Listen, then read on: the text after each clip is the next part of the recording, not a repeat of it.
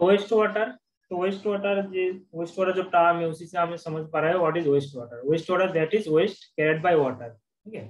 Waste is mixed with water that is waste water तो अगर जब, जो पोर्टेबल वाटर हम यूज़ करते हैं वाटर यूज़ के बाद, ठीक है use portable water after use it is waste water water को हम यूज़ करने के बाद जो वाटर होता है, वो वेस्ट वाटर है। तो उसमें क्या होता है वेस्ट भी वेस्ट भी रहता है वाटर भी रहता है। एक मिक्सचर वेस्ट एंड वाटर का मिक्सचर जो है वेस्ट वाटर तो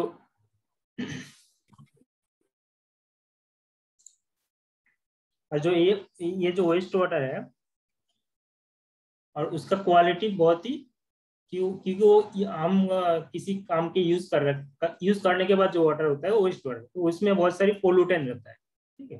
तो इसको क्या सेफली डिस्पोजल करना बहुत ही ज़रूरी है। तो ये और एक डेफिनेशन है। Waste water may be defined as any water that has been adversely affected in quality by anthropogenic interference anthropogenic mean human या एनिमल जो इंटरफेरेंस है आफ्टर यूज़ आफ्टर यूज़ जो वाटर है, उसका क्वालिटी जो पोर्टेबल वाटर है, उसकी quality घट जाता है। ठीक क्वालिटी बहुत ही खराब, बेकार क्वालिटी हो जाता है। तो उसको सेफली डिस्पोजल करना ज़रूरी है। तो ये जो पूरा जो वेस्ट जो वेस्ट वाटर का जो मैनेजमेंट सिस्टम है, ये पूरा मैनेजमेंट सिस्टम को हम एक सेक्टर में कवर करेंगे वेस्ट वाटर इंजीनियरिंग कैसे हम वेस्ट वाटर को कलेक्ट करेंगे, कैसे हम वाटर को डिस्पोजल करेंगे और कैसे ट्रीटमेंट करेंगे, ठीक है? In order to reduce the pollution main काम है हमारा पोल्यूशन और हाइजीनिक कंडीशन सोसाइटी में हाइजीनिक कंडीशन को मेंटेन करने के लिए ये ये जो वेस्ट वाटर है, वो सेफली डिस्पोजल करना ज़रूरी है और इसको पोपर वे पोपर वे में कलेक्शन करना है पोपर वे में डिस्पोजल करना है, कोई अगर, कोई डैम कोई प्रॉब्लम ना हो। क्योंकि अगर ये में वेस्ट हम अच्छे से डिस्पोजल नहीं करेंगे तो क्या होगा? बहुत सारी अनहाइजेनिक कंडीशन है। अगर मान लो कोई अपने एरिया में भी देख देख रहा होगा। कोई अगर सॉलिड वेस्ट जो है, जो हम सुबह जो म्यूनिसिपलिटी के जो कलेक्टर आता है, हम उसको जो सॉलिड वेस्ट है, हर इंडिविजुअल घर का हम उस उस बैन को बैन में दे देते हैं और वो जो बैन है, वो बैन ले, उस वेस्ट वेस्ट को लेकर उस दूसरे, दूर में कोई जगह पे, एक ऑयल डिफाइन जगह पे वो डिस्पोजल कर देता है। तो ये सॉलिड वेस्ट का मैनेजमेंट सिस्टम है अभी। ठीक उसी तरह जो हम वाटर यूज़ कर रहे हैं घर में जो वाटर यूज़ कर रहा है या बेसिन में या बाथरूम में या किचन सिंक में जो वाटर यूज़ कर रहा है उसको भी प्रॉपर मैनेजमेंट सिस्टम चाहिए। अदरवाइज़ क्या है को, कोई अगर डिस्पोजल नहीं होगा तो लोकालिटी में क्या हो जाएगा वेस्ट वाटर जमा हो जाएगा उसमें बहुत सारी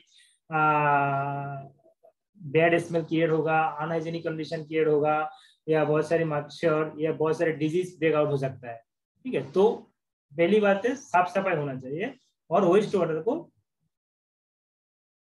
पूरी तरह से वेल डिफाइंड वे में डिस्पोजल करना है। ठीक है? ये ये है हमारा मेन मेन जो वेस्ट वाटर इंजीनियरिंग का मेन पार्ट है। ये मेन पार्ट है कि हम वेस्ट वाटर को वेल वेस्ट वाटर को सेफली डिस्पोजल करेंगे। अगर कोई लोकेलिटी में कोई हाइजेनिक कोई अनहाइजेनिक कंडीशन क्रिएट ना हो। ठीक है? ये है हमारा मेन एम है in this waste water engineering subject तो पर्पस ऑफ़ सैनिटरी इंजीनियरिंग वो तो मैंने ऑलरेडी बता दिया। यहाँ पे हर एक पॉइंट में हम अलग अलग से डिस्कशन कर रहे हैं। जैसे कि हेल्दी लिविंग कंडीशन के लिए ये वेस्ट इंजीनियरिंग जो है, उसका मेन पर healthy living condition development of the city ठीक है? General development of the city proper orientation of the building sufficient light and fresh air in the, in all the room. Prevention of occurrence of disease such as cholera, typhoid, malaria ठीक है, ये सब disease को prevent करने के लिए हम waste water engineering को इंट्रोड्यूस करेंगे, ठीक? Prevention of pollution of natural stream ठीक है? अगर जो नेचुरल स्ट्रीम है रिवर है, उसको पोल्यूशन को थोड़ा कम करने के लिए पोल्यूशन को रोकने के लिए वेस्ट वाटर इंजीनियरिंग के इंजीनियरिंग काम आता है। Effective removal of rain water rain water को नॉट ओनली द वेस्ट हाँ अगर कोई कोई लोकेलिटी से हम अगर जो रेन वाटर है, उसको भी रिमूवल करने के लिए प्रोसेस चाहिए एक वेल डिफाइंड सिस्टम चाहिए। जैसे कि वाटर सप्लाई के लिए एक सिस्टम है सिक्स सिमिलरली वेस्ट वाटर और रेन वाटर जो है उसको उसको डिस्पोजल करने के लिए एक वेल डिफाइंड सिस्टम होना चाहिए। ठीक है? Prevention of pollution of ground water ground water pollution को रोकने के लिए भी ये ये ये जो सुएज है, इसको इफ़ेक्टिव डिस्पोजल बहुत ही ज़रूरी है। वेस्ट वाटर का और एक नाम सुएज भी होता है। तो ये सर हमारा purpose of waste water engineering का मेन पर्पस है। अब the necessity of systematic collection and disposal of waste इसका कलेक्शन और डिस्पोजल क्यों हम, क्यों करेंगे? उसका नेसेसिटी क्या है? तो जो ऑलरेडी मैंने बता दिया, जो मेन पॉइंट है to protect the health and comfort of the people it is very necessary to collect and disposal of the used water along with their other waste ठीक है? पब्लिक हेल्थ और public health को protect करने के लिए hygienic condition को maintain करने के लिए ये ज़रूरी है नेसेसिटी दूसरी बात to prevent the growth of flies mosquito bacteria ये जो फ्लाई मॉस्क्यूटो बैक्टीरिया है, इसको ग्रोथ को रोकने के लिए भी ये systematic collection and disposal of waste का बहुत ही ज़रूरी है. To prevent the insanitary condition कोई लोकेलिटी में अगर insanitary condition unhygienic condition create ना हो, उसके लिए ये ज़रूरी है. For treatment of waste before disposal आप क्या करेंगे, ये जो वेस्ट हम कलेक्शन कर लिया कलेक्शन करने के लिए उसको डिस्पोजल करना है। और डिस्पोजल आप किसी की, उस कहाँ पे डिस्पोजल करेंगे? जैसे कि हम नदी पे डिस्पोजल करेंगे। अगर नदी में डिस्पोजल करेंगे तो नदी का वाटर जो, वो खराब हो जाएगा। उसके लिए किसी किसी सोर्स में डिस्पोजल करने से पहले हम उसको ट्रीटमेंट करेंगे। तो ट्रीटमेंट के लिए हमें चाहिए टोटल जो वेस्ट वाटर है, वो वो वेल डिपेंड हुए कलेक्शन होना चाहिए। उसके बाद हम ट्रीट कर पाएँगे। अगर वेस्ट कलेक्शन वेस्ट का अगर वेस्ट वाटर का कलेक्शन ही नहीं हुआ तो हम ट्रीटमेंट कैसे करें? जैसे कि हम वाटर सप्लाई में पहले वाटर को कलेक्ट करते हैं उसके बाद ट्रीटमेंट करते हैं, ठीक उसी तरह वेस्ट वाटर इंजीनियरिंग में पहले हम जितना भी वेस्ट वाटर है लोकेलिटी में पूरा कलेक्ट करके ट्रीटमेंट प्लान में भेजेंगे। ट्रीटमेंट प्लान में ट्रीट करके उसके बाद वो डिस्पोजल पॉइंट में आया रिवर या लेक में डिस्पोजल कर देते हैं। ठीक है? तो इसको ट्रीटमेंट के लिए भी हमें collection systematic collection of water is very essential ठीक है? To prevent the break out of different disease ठीक है? डिफरेंट डिज़ीज़ जो जो हमारा वेस्ट वाटर की वजह से जो जो डिज़ीज़ हो सकता है, उसको प्रिवेंट करने के लिए भी हम ये systematic collection of waste systematic collection of waste is very essential ठीक है? To determine the degree of treatment of waste waste water ठीक है? वेस्ट वाटर का क्वालिटी कितना हम जो वेस्ट वाटर ट्रीट करेंगे, कितने अमाउंट ऑफ़ ट्रीटमेंट देंगे? तो उसके लिए क्वालिटी चेक करना चाहिए। ठीक है? तो उसके लिए भी हम वाटर को सिस्टमेटिक वे में कलेक्शन करेंगे। ठीक है? तो ये सारा प्रोसेस है नेसेसिटी ज़रूरी है। अब देखते हैं राफ डायग्राम फ्लो डायग्राम और फिर सैनिटरी स्कीम ठीक है? वेस्ट वाटर इंजीनियरिंग के सैनिटरी स्कीम एक राफ डायग्राम है, ठीक है? अगर एक स्कीमेटिक डायग्राम हम यहाँ पे ड्रॉ करेंगे तो इसी टाइप का डायग्राम आएगा। पहले जनरेशन वो इंडिविजुअल हाउस में या इंडिविजुअल पॉइंट में वेस्ट जनरेट हो रहा है, पहला स्टेप है। उसके बाद क्या करेंगे? जहाँ जहाँ जनरेट हो रहा है, उसके हम डिपेंड एक नेटवर्क क्रिएट करके पूरा का पूरा वेस्ट को हम कलेक्ट करेंगे। ठीक है? इधर लिक्विड वेस्ट इधर सॉलिड वेस्ट सॉलिड वेस्ट तो म्यूनिसिपल जो सुबह बैन आता है, उसी तरह कलेक्ट होता है। और लिक्विड वेस्ट जो कलेक्ट होता है, वो स्वीयर के थ्रू कलेक्ट होता है। ठीक है? तो पूरा का पूरा वेस्ट जितना जनरेशन होता है, वो हम कलेक्ट करेंगे। उसके बाद कलेक्ट कलेक्ट करने के बाद उसको ट्रांसपोर्ट करेंगे ट्रीटमेंट प्लांट ट्रीटमेंट के लिए। ठीक है? कॉन्वेंस कॉन्वेंस ऑफ़ वेस्ट ठीक है? उसके बाद क्या करेंगे? ट्रीटमेंट प्लांट में भेजने के बाद वाटर को ट्रीट करेंगे। ट्रीटमेंट करने के बाद जो वाटर वहाँ पर परमिसिबल लिमिट में आ जाता है, जो भी डिपेंड पैरामीटर है, जो भी वेस्ट वाटर का जो पैरामीटर है बीओडी सीओडी और भी बहुत सारे पैरामीटर है, वो जो अगर परमिसिबल लिमिट में आ जाता है तो उसको क्या करेंगे हम, कोई नेचुरल सोर्स या लेक रिवर ठीक है, इसमें हम डिस्पोजल कर देंगे, या लैंड लैंड डिस्पोजल भी होता है। तो यह है पूरा सिस्टमेटिक प्रोसेस बिल्कुल opposite to the water supply engineer ठीक है? वाटर सप्लाई इंजीनियरिंग में क्या होता है? Uh, पहले नदी से वाटर कलेक्ट करेंगे उसके बाद ट्रीटमेंट करेंगे उसके बाद इंडिविजुअल हाउस में भेजेंगे। ठीक है? वो अपना पब्लिक पब्लिक अपना वाटर को यूज़ करेंगे। उसके बाद से स्टार्ट होता है waste water engineering water use करने के बाद वेस्ट वाटर होता है। वेस्ट वाटर को कलेक्शन के लिए अलग अलग सिस्टम है। कलेक्शन के बाद उसको ट्रांसपोर्टेशन के लिए अलग सिस्टम है, उसके बाद ट्रीटमेंट प्लान में भेज देंगे, जिसे वेस्ट वाटर ट्रीटमेंट और एस कहते हैं। कभी कभी न्यूज़ में आता है एस सुएज ट्रीटमेंट प्लान ठीक है? तो हम वाटर को सुएज ट्रीटमेंट प्लान में भेज देंगे। उसके बाद वाटर को हम कोई डिस्पोजल पॉइंट में जैसे कि रिवर लैंड या लेक में हम भेज देते हैं। ये है हमारा total flow diagram of waste water engineering clear सबका कोई डाउट किसी का?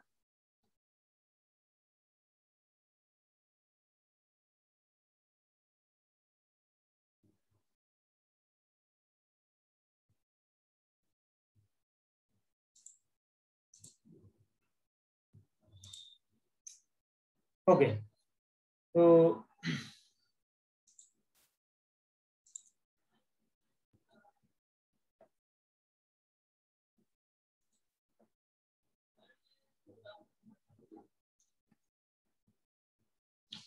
तो यहाँ पे जस्ट जो कलेक्शन कॉन्वेंस ट्रीटमेंट के बारे में थोड़ा ब्रीफली डिस्कशन यहाँ पे दिया हूँ मैंने collection collection mean they are they are mean for collecting all type of waste collection mean the waste को कलेक्ट करेंगे हम।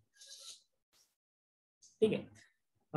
Refuse and sewage collected separately and the collection work should be constructed in in so that all the matter may be transported quickly and steady to the treatment unit ठीक collection collection जो ये है Suez collection का जो network है, वो बहुत ही efficient होना चाहिए। इफेक्टिवली सारा सारा वेल जैसे जनरेट होगा, वो तुरंत तो इमीडिएटली वो ट्रीटमेंट प्लान में चला जाए ठीक है तो ऐसे इफिशियंट इफिशियंट कलेक्शन सिस्टम होना चाहिए। And the collection system should be self cleaning ठीक है सेल्फ क्लीनिंग होना चाहिए। क्योंकि ऐसा नहीं है सुयर के अंदर कोई जाके क्लीन करेगा, ऐसा नहीं हो पाएगा। वो वाटर सप्लाई में जो पाइप है, वो अंदर जाके क्लीन कर सकता है, लेकिन सुएज के अंदर कौन जाएगा? ठीक है तो तो इसीलिए जो सुयर पाइप है sewer pipe should be self cleaning होना चाहिए। सुयर पाइप नहीं, और भी जरा वेस्ट वाटर वेस्ट वाटर का जो मैनेजमेंट के लिए जो जो यूनिट है वो अगर अच्छा हुआ सेल्फ क्लीनिंग है। कोई जा, कोई मैनुअली जाने के क्लीनिंग करने की कोई ज़रूरत नहीं and hydraulically water tight there should not be any leakage in the system. अगर लीकेज हो तो वो पूरा का पूरा पोल्यूशन कर देगा। ग्राउंड वाटर पोल्यूशन करेगा और भी बहुत सारी पोल्यूशन हो जाएगा। और एरिया में अनहाइजेनिक कंडीशन क्रिएट होगा। तो इसीलिए हाइड्रोलिकली टाइट होना चाहिए। कोई लीकेज नहीं होना चाहिए एंड इकोनॉमिक होना चाहिए। ये है कलेक्शन सिस्टम का प्रॉपर्टी मेनली ये सारा प्रॉपर्टी होना चाहिए। उसके बाद ट्रीटमेंट ऑफ़ वेस्ट तो जैसे मैंने बताया डिस्पोजल से पहले ट्रीटमेंट करना ज़रूरी है। अदरवाइज़ क्या है जो डिस्पोजल का जो सोर्स जैसे कि अगर कोई नदी में डिस्पोजल करता है तो क्या होगा, नदी का वाटर पोल्यूशन हो जाएगा। तो पोल्यूशन को रोकने के लिए हम वेस्टों को पहले ट्रीटमेंट करेंगे, उसके बाद हम उसको नदी में भेजेंगे। इसीलिए देखो गंगा में गंगा के, गंगा, जो नमामि गंगा प्रोजेक्ट है ना? किसी ने सुना है नमामि गंगा के बारे में? यस सर नवंबर मेन क्या क्या हो रहा है? मेन क्या इसका एम क्या है? नदी को साफ़ करने के साथ साथ सीवेज ट्रीटमेंट प्लांट भी लगाए जा रहे हैं। हाँ सीवेज ट्रीटमेंट प्लांट लगाने क्यों लगा रहा है? क्योंकि जो सीवेज आ रहा है वो अगर नदी में नहीं, नहीं जाए नदी के वाटर को पोल्यूशन ना करे इसीलिए सीवेज ट्रीटमेंट प्लांट में पूरा का पूरा जो ये है ट्रीटमेंट प्लांट में पूरा का पूरा वेस्ट को रिमूव करके उसके बाद फ्रेश वाटर को नदी में डिस्पोजल करना है। ठीक है? तो ये ट्रीटमेंट ऑफ़ वेस्ट का मेन यह है काम।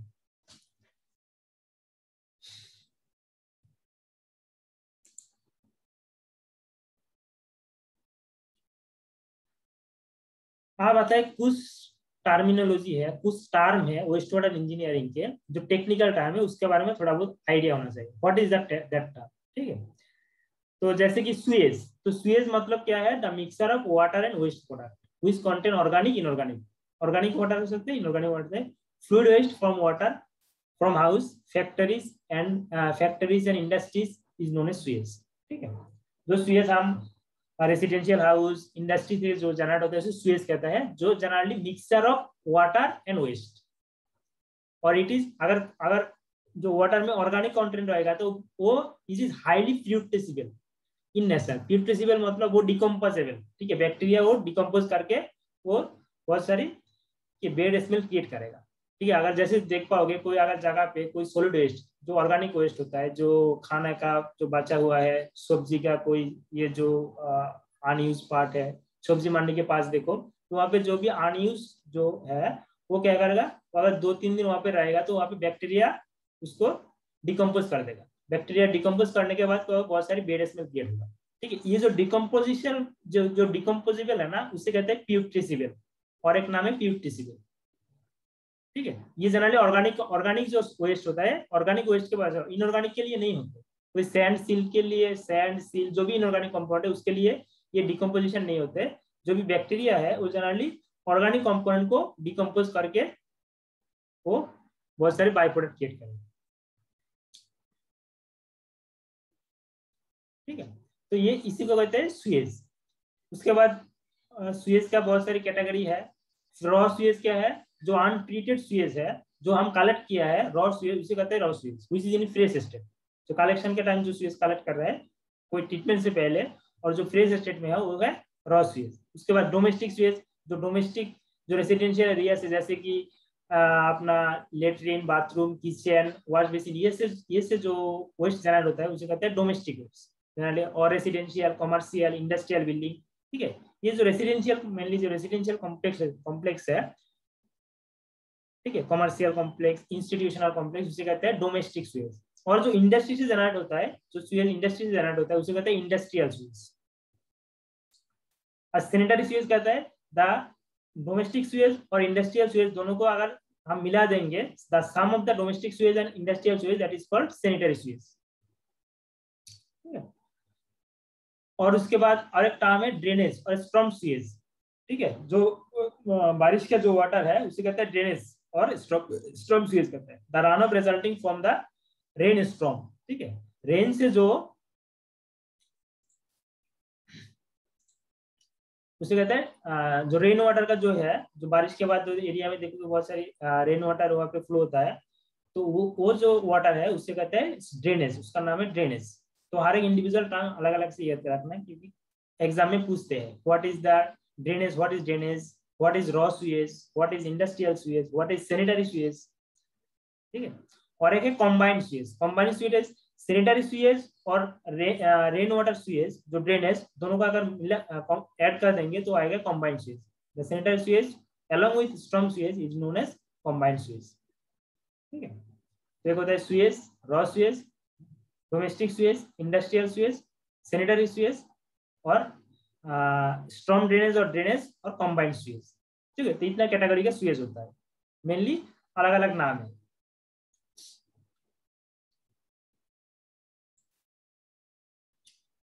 उसके बाद आता है फ्रेश स्वेज फ्रेश स्वेज है, अगर अगर किसी स्वेज में डिजोल्व ऑक्सीजन क्वांटिटी ज़्यादा रहता है, उसे कहते हैं फ्रेश स्वेज अगर डिजोल्व ऑक्सीजन क्योंकि वाटर पोल्यूशन का मेन इंडिकेशन है, उसमें डिजोल्व ऑक्सीजन घट जाएगा। तो इसी वाटर में अगर वेस्ट आ जाता है तो क्या होता है, उसमें बैक्टीरियल एक्टिविटी बढ़ जाता है।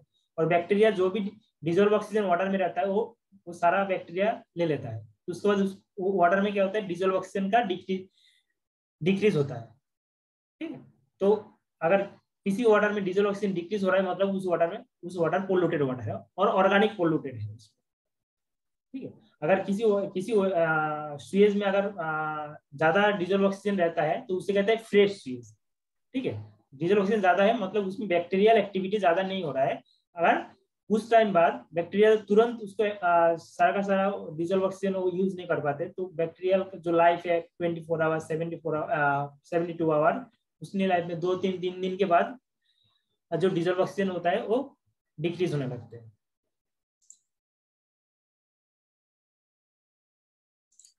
फ्रेश स्वेज का एग्जांपल जो बेसिन में जो वाटर यूज़ यूज़ करोगे ना, बेसिन में वाटर यूज़ करने के बाद तुरंत जो वाटर आता है वो फ्रेश स्वेज है। ठीक उसमें डीजल ऑक्सीजन ज़्यादा होता है। लेकिन वो जो अगर स्वेज में मिला कि एक दिन बाद वो ट्राई करोगे ना, उसमें डीजल ऑक्सीजन नहीं रहेगा, वो क्या हो जाएगा? उसमें डीजल ऑक्सीजन घट जाएगा। ठीक है? और एक होता है septic sewage the sewage under the process of treatment is called the septic sewage treatment unit में जो ये होता है स्वेज होता है उसे कहते हैं सेप्टिक स्वेज और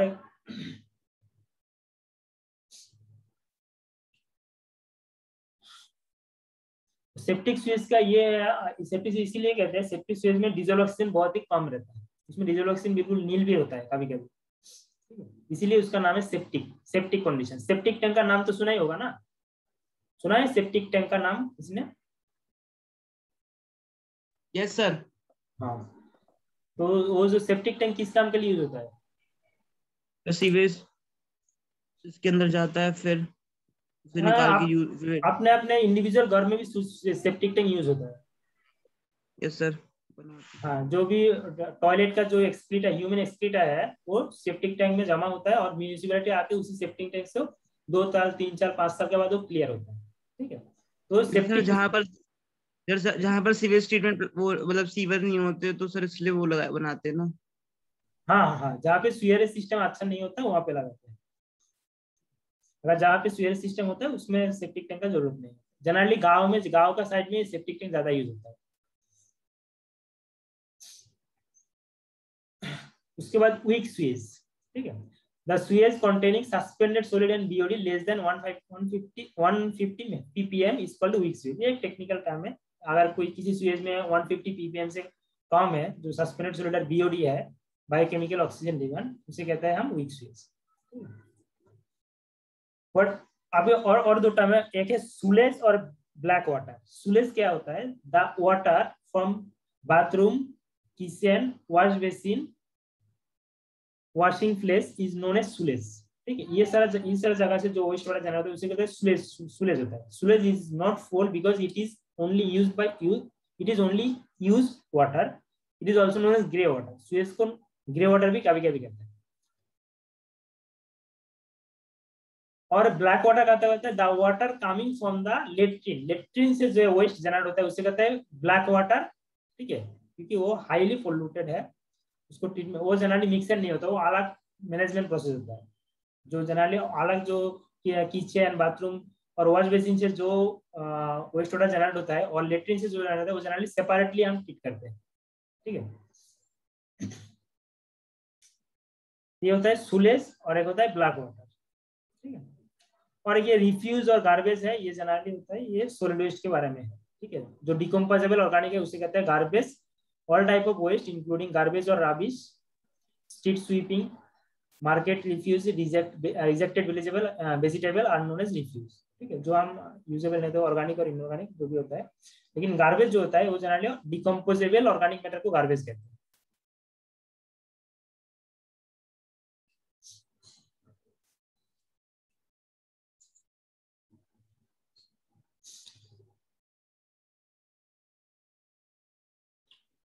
उसके बाद और एक है राबिश का नाम है। ये भी एक सोलिड वेस्ट का एक पार्ट है। All the sundries solid waste which such as paper, broken, furniture sweeping pottery waste of building material ये सारा जो ये है, इसको राविश जनरली कहते हैं।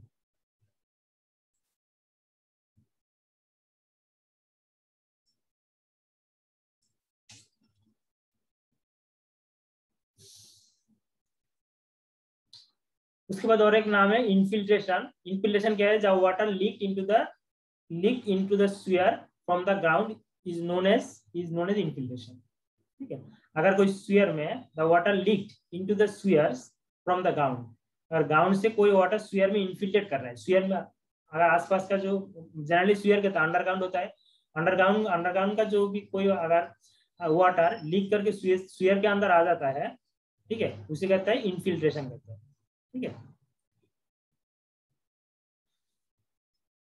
ये होता है इनफिल्ट्रेशन उसके बाद और भी बहुत सारी डेफिनेशन है, जैसे सुयर का आता है सुयर जनरली जो पाइप है, जो द अंडर अंडरग्राउंड पाइप और कॉन्डुइट व्हिच कैरी सुएज जो वेस्ट वाटर जो कैरी होता है, जो पाइप से कैरी होता है, उसे जनरली सुयर कहते हैं। ठीक है? बहुत सारे सुयर का बहुत सारी है मेन सुयर है ब्रांच सुयर है लेटरल सुयर है आउटफुल सुयर है, इस तरह जैसे कि वेस्ट वाटर सप्लाई में बहुत सारी पाइप थी ठीक उसी टाइप का मेन सुयर का एक नेटवर्क होता है नेटवर्क में नेटवर्क में मेन स्वीयर होता है ब्रांच स्वीयर होता है लेटर स्वीयर होता है, ठीक है? या अलग स्वीयर हाउस स्वीयर होता है? हाउस स्वेयर होता है? जे pipe conveying sewer from the plumbing system of single building to the common sewer ठीक है? जो इंडिविजुअल हाउस से जो स्वीयर को अगर जो म्यूनिसिपल से स्वीयर स्वीयर पाइप है, उसमें स्वेयर पाइप है, उसमें अगर जो कनेक्शन होता है, वो होता है हाउस स्वेयर ठीक है? और एक होता है common sewer a sewer which can be use for flow of storm water और sewers with equal right of use अगर उसे कॉमन स्वीयर कॉमन माने जिस स्वीयर के थ्रू स्वीयर्स भी फ्लो होगा और रेन वाटर ड्रेनेज भी फ्लो होगा उसे कहते हैं कॉमन स्वीयर भी कभी कभी कहते हैं और, और होता है combined sewer combined sphere is the sphere which receive storm water and uh, storm water and sewage is known as combined sphere ठीक combined sphere में स्टॉर्म वाटर भी दोनों कंबाइन हो जाता है। स्वेज और ड्रेनेज स्वेज और ड्रेनेज दोनों कंबाइन फ्लो होता है उसे कंबाइन स्वेज भी कहता है।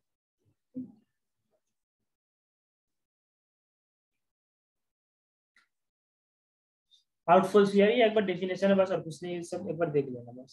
Separate sewer storm sewer is definition okay sir sewer is क्या होता है? It is a process of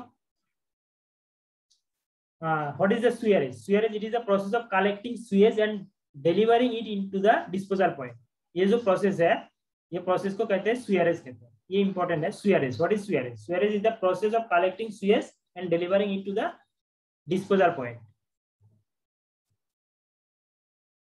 sphere system what is sphere system sphere system is the network of sphere pipe or appurtenances used for accomplishing the spheres is known as sphere system. वो जो network है waste water का जो Suez network है, उसे कहता है sewer system sewage treatment treatment को जो आर्टिफिशियल प्रोसेस यूज़ करके हम स्वेज को ट्रीट करते हैं, उसे ट्रीटमेंट कहता है, ठीक है? ये जरा जस्ट डेफिनेशन है।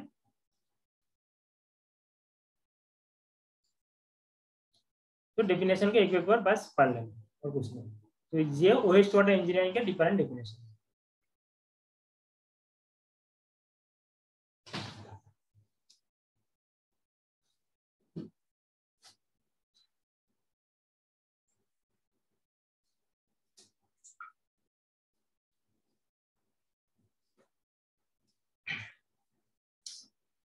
अब होते हैं, आप देखते हैं collection and conveyance system transportation system ठीक है? कलेक्शन कॉन्वेंस तो the waste product of a town should be collected and carried by different efficient method ठीक है? तो कलेक्शन और कॉन्वेंस है, वो जनरली दो टाइप के मेथड होते हैं। एक कहते हैं कंजर्वेंसी मेथड एक होता है वाटर कैरेज मेथड ठीक है?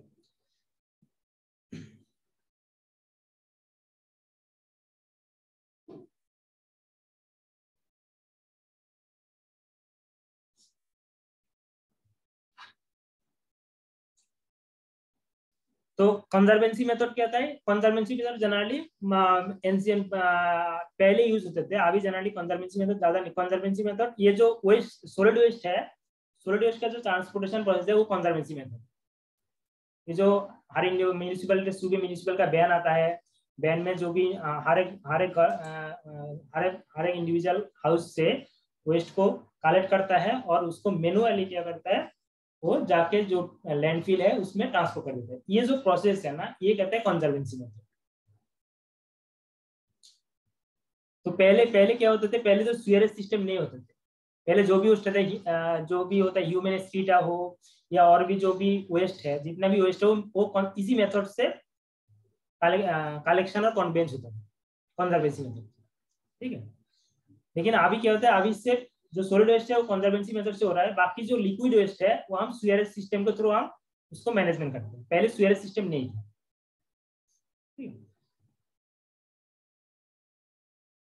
तो that is what is the conservancy method that is the the waste product of a society including human excreta had been collected carried and dispose of manually to the safe disposal point by the sweeper ठीक है? तो sweeper sweeper के द्वारा जो जितना भी waste है including human स्कीटा सब कुछ क्या होता है मैनुअली कलेक्ट होता है पहले, उसके बाद वो डिस्पोजल पॉइंट में भेज देता है।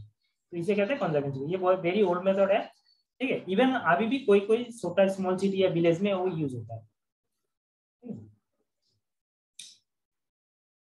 तो इस मेथड का हम इस मेथड का बहुत सारे एडवांटेज है डिसएडवांटेज भी है। लेकिन अभी जनरली लिक्विड वेस्ट के लिए, वो जनरली हम वाटर कैरेज सिस्टम यूज़ करते हैं।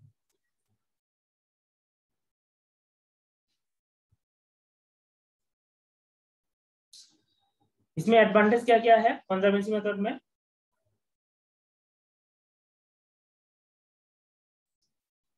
The the quantity of sewage which will reach at the treatment plant is low ठीक है? अगर अगर वाटर वाटर मिक्स कर देंगे तो क्वांटिटी ज़्यादा हो जाएगी। ठीक है, अगर वाटर नहीं रहेगा सिर्फ़ वेस्ट रहेगा तो उसका क्वांटिटी कम हो जाएगा। ठीक है तो जो ट्रीटमेंट प्लांट के ऊपर ज़्यादा लोड नहीं है। एक है। दूसरी the storm water goes in the open drain before the sewer section will be small and will run full throughout the air with leaving any silt or deposit in the swell lines. जो अंदर इस ये जो method है, इसमें क्या होता है? ये जो वेस्ट रेन वाटर है रेन वाटर ड्रेनेज है रेन वाटर ड्रेनेज क्या होता है? वो स्फीयर के थ्रू नहीं फ्लो स्फीयर के थ्रू फ्लो नहीं होता है वो अपने आप जो रोड साइड में जो ड्रेन होता है ओपन ड्रेन होता है, उसी के थ्रू फ्लो होके वो अपने आप कोई डिस्पोजल पॉइंट में चला जाता है। उसके लिए अलग प्रोविज़न बनाने की कोई ज़रूरत नहीं लेकिन वाटर क्लेस सिस्टम में अगर हम जो सोसाइटी में रेन वाटर को कलेक्ट करके स्विच के थ्रू फ्लो करेंगे तो तो उसमें क्या होता है? जो रेन वाटर के थ्रू सील्ड रेन वाटर के साथ जो सरफेस के थ्रू रेन वाटर फ्लो होगा ना तो उसमें साथ सील्ड सैंड ये सब आ जाता है। वो क्या होता है? स्वेयर पाइप में डिपोजिट होकर स्वेयर पाइप को ब्लॉक कर सकता है। ठीक है? तो ये ये जो डिसएडवांटेज है, ये कंजर्वेंसी मेथड में नहीं। ठीक? है कंजर्वेंसी मेथड में क्या था? जो भी रेन वाटर है रेन वाटर ओपन ड्रेन के थ्रू फ्लो होके कोई नदी में या कोई अपने आप को डिस्पोजल हो जाता है।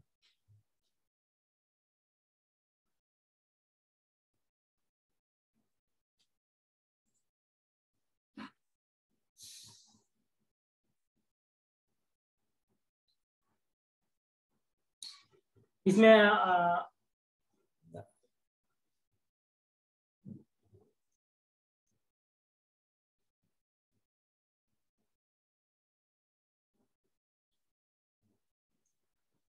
और और ये ये जो कंजर्वेशन मेथड है this method is less costly because storm water pass through open है ठीक है स्टॉर्म वाटर इसमें साथ में ये ये कॉस्ट थोड़ा लेस कॉस्टली होता है।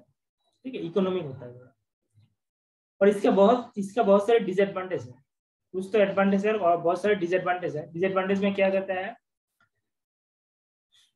It is not suitable for congested area congested area के लिए सुटेबल नहीं है, क्योंकि ये भी देखो, जहाँ पे कॉन्जेस्टेड एरिया है, वहाँ पे म्यूनिसिपल जो जो जो कलेक्ट करेगा ना, उसको आने जाने में प्रॉब्लम होगा। ठीक है?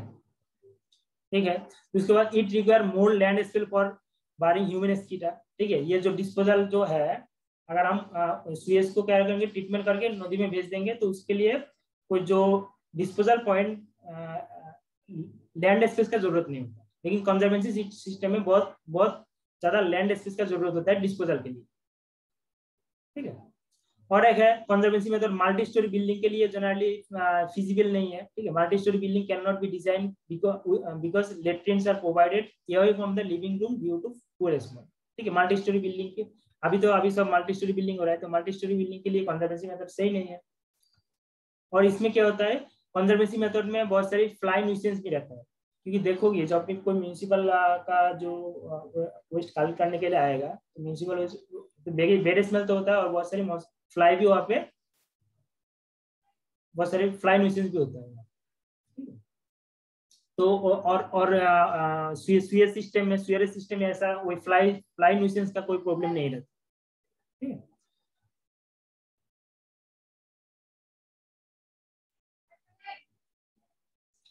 और और और एक डिसएडवांटेज है, ये जो कंजर्वेशन सिस्टम में जो मैनुअली जो कलेक्ट करेगा, ठीक है, जो जो गाड़ी आएगा, वो जनरली मेन रोड की थ्रू फ्लो मेन रोड पर अलाउ नहीं होता क्योंकि वो वो खुद ही एक जो वेस्ट है वेस्ट से बहुत सारी स्मेल आता है तो मेन रोड की थ्रू जाएगा तो एक बैड स्मेल क्रिएट करेगा, आसपास का एरिया को थोड़ा प्रॉब्लम होगा, लोगों को थोड़ा प्रॉब्लम होगा, इसलिए ये भी अगर तो मेन रोड के थ्रू ये पासिंग नहीं हो पाते, ठीक है।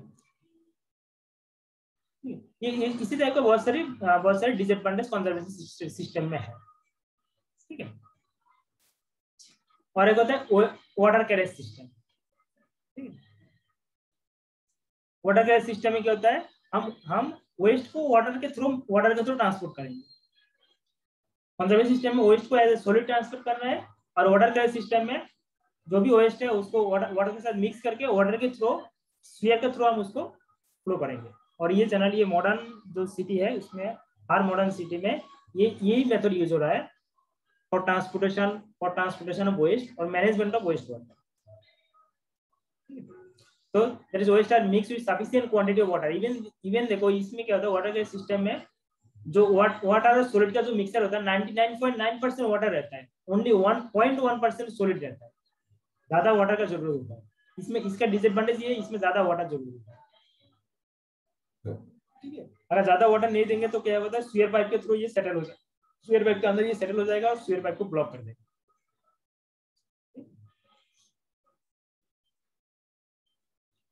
इसका बहुत सारे एडवांटेज जैसे कि मल्टी स्टोरी बिल्डिंग के लिए ये फिजिबल है, या हाइजेनिक अनहाइजेनिक कंडीशन ये जनरली कीप नहीं करता क्योंकि सारा का सारा वेस्ट है, वो पाइप के थ्रू फ्लो होगा क्लोज पाइप के थ्रू फ्लो होगा। ठीक है? कॉन्जेस्टेड एरिया के लिए सुइटेबल है? उसको ट्रैफ़िक के कोई there is no inconvenience to the traffic और नो रिस्क ऑफ़ इफिडेमिक कोई डिज़ीज़ प्रोड्यूस होने का प्रोबेबिलिटी बहुत कम है। ठीक है? तो ये ये इसका बहुत सारी वाटर गैस का बहुत सारी एडवांटेज है।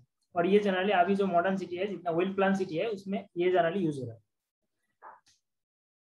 डिसएडवांटेज ये है, इसका कॉस्ट ज़्यादा होता है। क्योंकि सुयर नेटवर्क बैठाना बहुत बहुत ज़्यादा कॉस्टली होता है। और मेंटेनेंस कॉस्ट भी ज़्यादा होता है। कोई सुयर अगर कोई खराब हो जाता है, उसको मेंटेनेंस करने के लिए बहुत कॉस्ट होता है। और होता है इसका ट्रीटमेंट यूनिट का ट्रीटमेंट कॉस्ट भी ज़्यादा होता है। क्योंकि ज़्यादा वाटर है तो उसको ट्रीटमेंट कॉस्ट भी ज़्यादा होगा ठीक है? बाकी ये जो सेफ्टी पर्पज के लिए अगर कॉस्ट को हम साइड में रखेंगे तो ये बहुत ही सुटेबल बहुत सारी एडवांटेज है। अनहाइजेनिक कंडीशन नहीं होगा मल्टी स्टोरी बिल्डिंग के लिए एप्लीकेबल है एरिया के लिए एप्लीकेबल है, कोई ट्रैफ़िक का कोई प्रॉब्लम नहीं है। ठीक है? जो जो मैन पावर है, जो स्वीपर काम करेगा, उसका भी हेल्थ प्रॉब्लम हो सकता है। कंजर्वेंसी सिस्टम में क्या होता है, वो वेस्ट को ट्रांसफ़र कराए तो उसका हेल्थ प्रॉब्लम भी ज़्यादा है। लेकिन इसमें क्या है कोई मैनुअल मैनुअल इन्वॉल्वमेंट नहीं है तो कोई आ, किसी किसी का कोई प्रॉब्लम नहीं हेल्थ का प्रॉब्लम नहीं होता। चांसेस नहीं है। क्लियर सबका? ये दोनों मेथड का डिफरेंस आता है एग्ज़ाम में। What is the conservancy method what is the water carriage method advantage disadvantage ठीक है? तो डिफरेंस करके लिखना पड़ेगा। कोई डाउट किसी का?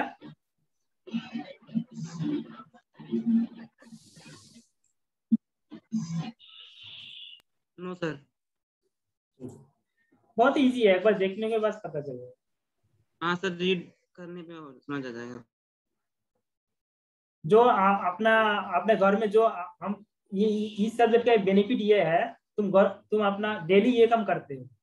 वेस्ट वाटर मैनेज करना ये करना ठीक है घर पे डेली ये करते हो तो ये बहुत ही फेवरेबल है। इस सब्जेक्ट का ये बहुत ही बेनिफिट है कि जो भी यहाँ पे पढ़ाएँगे, वो ऑलरेडी तुम हर दिन वो काम करते हो। ठीक है? जस्ट ये टेक्निकल टर्म क्या कहते हैं, उसको जस्ट पहचानना है और कुछ नहीं।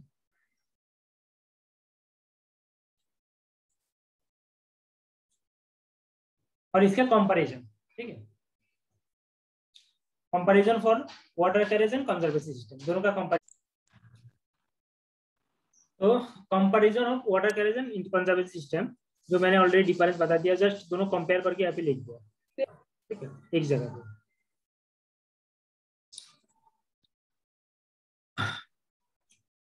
अब आते हैं सिस्टम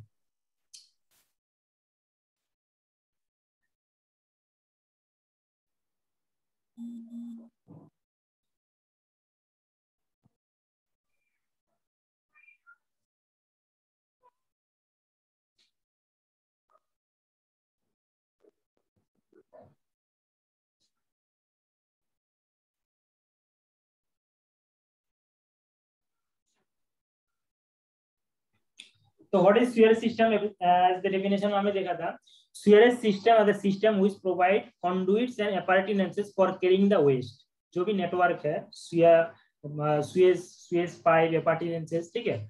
वाटर वेस्ट वाटर को स्वेज को कैरी कैरी करने के लिए स्विच को ट्रांसपोर्टेशन करने के लिए and deliver to the treatment plant और डिस्पोजल प्लान ये जो सिस्टम है, उसे कहते हैं स्वेयर सिस्टम स्वेयर सिस्टम में क्या कहता है? Generally network of swear pipe laid in order to carry the Suez to the treatment plan this network of स्वीएस consist of house severe स्वीएस का जो नेटवर्क हम कंस्ट्रक्ट करेंगे, उसमें हाउस स्वीयर रहेगा lateral sewer branch sewer main sewer output sewer ये सारा sewer तक रहेगा। और हमारा जो सिस्टम ऑफ़ स्वीयर है there are three system of sewer sewer तीन सिस्टम होता है। एक होता है कॉम्बाइंड सिस्टम एक होता है सेपरेट सिस्टम एक होता है पार्शियल सेपरेट सिस्टम ठीक है कॉम्बाइंड सिस्टम में क्या होता है? कॉम्बाइंड सिस्टम हम सैनिटरी स्वीएज और स्ट्रॉम स्वीएज रेन वाटर और और जो सैनिटरी स्वीएज दोनों हम एक साथ में फ्लो कैरी करेंगे। ठीक है, दोनों एक साथ में मिक्स करेंगे और उसके बाद वो स्वीयर के स्वीएज के थ्रू फ्लो होगा। उसे कहते हैं कॉम्बाइंड सिस्टम ठीक है तो कॉम्बाइंड सिस्टम का सुइटेबिलिटी क्या है? एडवांटेज डिसएडवांटेज क्या है? सुइटेबिलिटी क्या है? It is suitable for area the rainfall is small जहाँ पे rain water rainfall rainfall run off rainfall rainfall कम है स्मॉल रेनफॉल है, उसमें ये सुइटेबल है। क्योंकि अगर रेन वाटर में ज़्यादा अमाउंट ऑफ़ रेन वाटर आएगा तो सडनली वो क्या कहते हैं स्वेयर के एक्चुअली और एक बात है रेन तो throughout the year rain नहीं होता। रेन किसी मानसून टाइम में होता है नॉन मानसून टाइम में नहीं होता। तो एक पर्टिकुलर टाइम में ज़्यादा रेन हो जाएगा तो क्या होगा? तो स्वेयर के थ्रू फ्लो नहीं हो पाएगा। अनहाइजेनिक कंडीशन क्रिएट हो जाएगा। उसके लिए क्या होता है, जिस एरिया में जनरली रेनफॉल कम होता है और और जनरली यूनिफॉर्मली डिस्ट्रीब्यूट होता है, ठीक है? Uniform throughout the year कोई किसी टाइम ज़्यादा ज़्यादा बारिश हो रहा है, किसी टाइम कोई ज़्यादा बारिश नहीं हो रहा है, ठीक है? तो फ्लक्चुएशन ज़्यादा नहीं होगा, ठीक है? और उस, उसी एरिया के लिए जनरली ये कॉम्बाइन सिस्टम सुटेबल है, ठीक है? अगर अगर अगर कोई जगह पे रेनफॉल वेरिएशन ज़्यादा है, उस टाइम में ज़्यादा रेनफॉल हो रहा है और कुछ टाइम में कम रेनफॉल हो रहा है तो कॉम्बाइन स्वीयर पाइप डिज़ाइन करने में दिक्कत आता है। जो मैक्सिमम रेनफॉल है मैक्सिमम रेनफॉल के लिए डिज़ाइन करेंगे तो जब जब रेनफॉल नहीं है, तब क्या करेंगे? तब स्वीयर के थ्रू पाइप नहीं फ्लो होगा। मान लो, एक एग्जांपल हम मान सकते कोई मैक्सिमम रिवर के लिए मान लो दो मीटर या one one metre nine one metre एक डायमीटर का एक पाइप ज़रूरत होता है। और जो, एक फॉर एग्जांपल कंसीडर करेंगे हम तो मैक्सिमम जो रेनफॉल होता है मान लीजिए वन मीटर डायमीटर का एक स्वीयर पाइप का ज़रूरत होता है। अगर जब जब कोई वहाँ पे रेनफॉल नहीं होता तब मान लो हंड्रेड सेंटीमीटर का कोई डायमीटर का पाइप का ज़रूरत होता है। तो तब क्या होता है, जब वहाँ पे रेनफॉल नहीं रहता तो पाइप इतना बड़ा पाइप के थ्रू छोटे स्मॉल अमाउंट फ्लो नहीं होता। और वेस्ट के वेस्ट के अंदर जो भी जो भी सॉलिड है, जो भी वेस्ट के अंदर जो भी वेस्ट है, वो क्या होगा पाइप के अंदर सेटल हो जाएगा और वो पाइप को ब्लॉक कर देगा। ठीक है, इसीलिए सेल्फ क्लीनिंग जो सेल्फ क्लीनिंग प्रॉपर्टी है, ये मेंटेन नहीं हो पाएगा। ठीक है? तो इसीलिए कॉम्बाइंड सिस्टम है, वो जनरली जहाँ पे रेनफॉल ज़्यादा नहीं होता और साल भर यूनिफॉर्म साल भर throughout the uniform rainfall होता है और इवनली डिस्ट्रीब्यूट होता है, उसी जगह पे ये सुइटेबल और एक है it is more suitable for crowded area congested area जहाँ पे जहाँ पे जी कॉन्जेस्टेड एरिया में जहाँ पे स्वीयर लेआउट करने की जगह नहीं है। ठीक है? एक स्वीयर बैठा देंगे तो और दूसरे स्वीयर बैठाने का कोई जगह है ही नहीं। तो कॉन्जेस्टेड एरिया के तब तो तो क्या करेंगे? तब तो हम कॉम्बाइन सिस्टम में एक ही स्वीयर के थ्रू रेन वाटर और स्वीयर दोनों फ्लो करेंगे।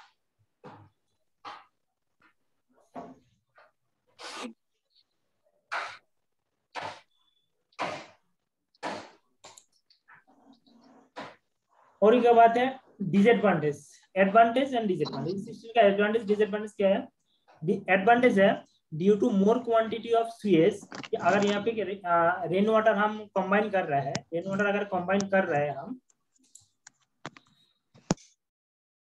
रेन वाटर अगर कंबाइन कर रहे हैं तो सेल्फ क्वांटिटी ऑफ़ स्वीएस ज़्यादा हो जाएगा। क्वांटिटी ऑफ़ स्वीएस ज़्यादा होगा तो सेल्फ क्लीनिंग वेलोसिटी आ जाएगा। ऑटोमेटिक फ्लैशिंग हो जाएगा। ये एक एडवांटेज है। The sewage is easily and economically treated due to dilution by rain water अगर जो भी हम स्वेज है, उसमें अगर रेन वाटर ऐड कर देंगे तो स्वेज का कभी कभी हो सकता है डायलोटेड स्वेज डायलोटेड हो जाएगा। तो डायलोट हो जाएगा तो वो ट्रीटमेंट प्रोसेस बहुत ईजी हो जाएगा इकोनॉमिक ट्रीटमेंट हो जाएगा। Sewer can be easily constructed and maintenance cost is very small though, एक एक ही एक ही स्वीयर पाइप के थ्रू अगर हम सब कुछ फ्लो करवा रहा है तो इसके मेंटेनेंस कॉस्ट कम होगा थोड़ा, ठीक है? अगर दो स्वीयर रेन रेन के लिए अलग स्वीयर और वेस्ट वाटर के लिए अलग स्वीयर हम यूज़ करेंगे तो दोनों दोनों के लिए अलग अलग मेंटेनेंस होगा, ठीक है? One set of pipe required होगा, ठीक है? ये है एडवांटेज है। उसके बाद इसके बहुत सारे डिसएडवांटेज है। डिसएडवांटेज है कि अगर कोई जगह पे, जैसे मैंने बताया रेनफॉल वेरिएशन ज़्यादा होगा तो वो self cleaning non non rainfall period में नॉन रेनफॉल पीरियड में सेल्फ क्लीनिंग वेलोसिटी ऑप्टेन नहीं हो पाएगा, ठीक है? और हेवी रेन के लिए अगर एक्सपेक्टेशन से ज़्यादा कोई अगर जगह पे रेन हो रहा है तो क्या ओवरफ्लो हो जाएगा? ठीक ओवरफ्लो हो जाएगा, वो अनहाइजेनिक अनहाइजेनिक कंडीशन क्रिएट करेगा एरिया में। ठीक है? इनिशियल कॉस्ट ज़्यादा होगा, क्योंकि बड़ा बड़ा डायमीटर का लार्ज साइज़ का शेयर का ज़रूरत होता है इसमें तो इसका इनिशियल कॉस्ट भी ज़्यादा होता है। ठीक है? इसमें क्या होता है अननेसेसरली ज़्यादा क्वांटिटी ऑफ़ वाटर वाटर को ट्रीटमेंट करने का ज़रूरत होता है। स्टॉम वाटर को जनरली पोल्यूटेड नहीं रहता। अगर वो स्टॉम वाटर को हम सुयर के साथ मिक्स कर देंगे तो पूरा का पूरा वाटर पोल्यूटेड हो जाए। तो ज़्यादा क्वांटिटी वाटर को ज़्यादा क्वांटिटी का वाटर हम ट्रीटमेंट करने का ज़रूरत होता है। तो ये ये सारा डिसएडवांटेज एडवांटेज भी है कुछ डिसएडवांटेज भी है। ये है?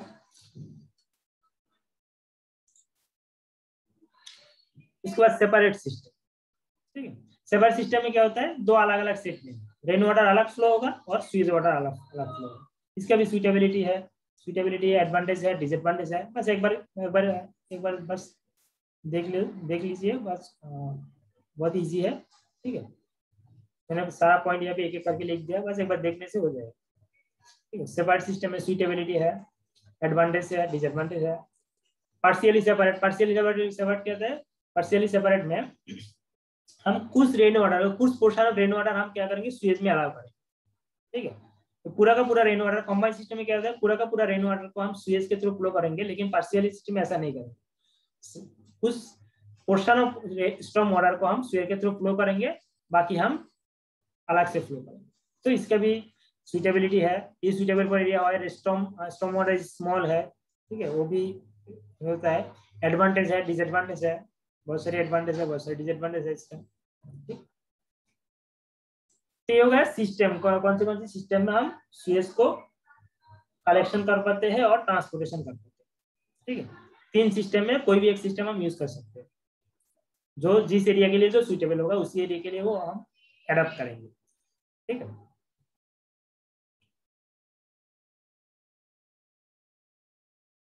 क्लियर सबका?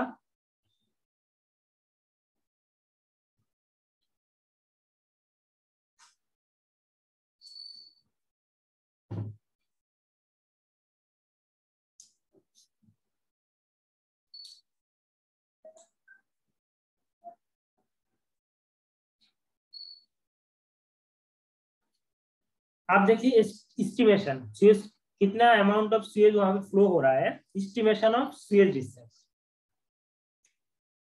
तो एस्टिमेशन तो करना चाहिए। जैसे कि हम वाटर डिमांड को कैलकुलेट करते हैं तो कितना स्वेज जनरेट हो रहा है, उसका भी एस्टिमेशन की ज़रूरत है। अगर एस्टिमेशन नहीं करेंगे तो क्या होगा? तो स्वेज का हम स्वेज नेटवर्क डिज़ाइन नहीं कर पाएँगे। ठीक है? The sewage discharge has to pass which has to pass through a sewer must be estimated as correctly as possible Otherwise, the sphere may be proved to be inadequate of flow of spheres or may to be too much large size uneconomic. अगर estimation नहीं करेंगे तो क्या होगा? छोटा हो जाएगा कभी कभी कभी कभी क्या होता है? वो स्वेज साइज़ साइज़ ज़्यादा ज़्यादा साइज़ का हो जाएगा। तो छोटा हो जाएगा तो ओवरफ्लो हो जाएगा ज़्यादा साइज़ का स्वेज हो जाएगा तो अनइकोनॉमिक हो जाएगा। ठीक है? तो इसीलिए सही स्वेज नेटवर्क बैठाने के लिए उसको हम क्या करेंगे? एस्टिमेशन ऑफ़ स्वेज बहुत ज़रूरी है। ठीक है?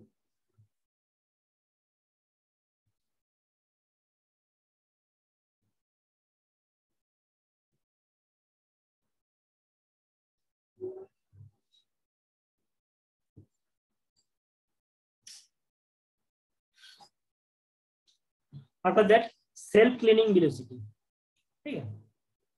तो ये जो हम दो तीन टर्म सेल्फ क्लीनिंग वेलोसिटी हम बता रहे थे what is the self cleaning velocity the minimum flow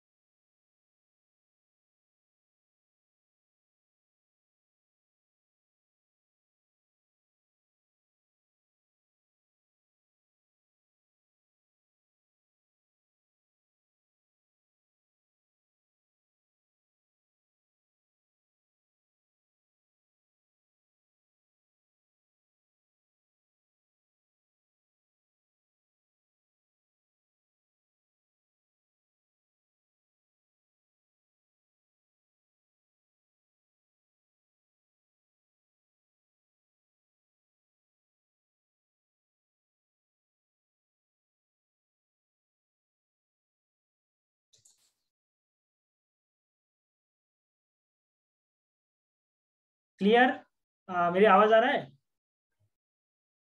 ये सर अब आ रही है। हाँ, ठीक है ठीक है। तो मैंने जो कर रहा है self cleaning velocity self cleaning velocity the minimum velocity will sewer जब स्वेयर के थ्रू जो भी वेस्ट वाटर स्वेयर के थ्रू जो फ्लो होगा एक एक मिनिमम परमिसिबल वेलोसिटी से कम नहीं होना चाहिए वेलोसिटी ठीक है? वो जो मिनिमम वेलोसिटी है उसे कहते हैं सेल्फ क्लीनिंग वेलोसिटी ठीक है? अगर उससे कम होगा तो सेटलमेंट हो जाएगा। जो भी वेस्ट वाटर का जो भी सोलिड है, वो स्वेयर के अंदर सेटल हो जाएगा और सेटल होते धीरे धीरे पूरा ब्लॉक ब्लॉक कर देगा। तो इसीलिए एक मिनिमम परमिसिबल वेलोसिटी है, जिससे स्वेयर वेलोसिटी के नीचे नहीं होना चाहिए। तो उस मिनिमम परमिसिबल वेलोसिटी कहते हैं सेल्फ क्लीनिंग वेलोसिटी ये बहुत ही इंपॉर्टेंट है। जब भी हम स्वीयर डिज़ाइन करेंगे तो अभी सेल्फ क्लीनिंग वेलोसिटी को हम ध्यान में रख के उसके बाद डिज़ाइन करेंगे। ठीक है? उसके बाद है ड्राई वेदर फ्लो ठीक है? What is the dry weather flow ये भी एक टेक्निकल टर्म है। The normal flow of sewage in the sewer during dry weather और non monsoon season is known as dry weather flow non monsoon season में non monsoon season में जो स्वीज के through जो वाटर फ्लो होगा स्वीज के through जो स्वीज फ्लो होगा, उसे कहते हैं dry water flow it contain only domestic और इंडस्ट्रियल स्वीज ठीक है?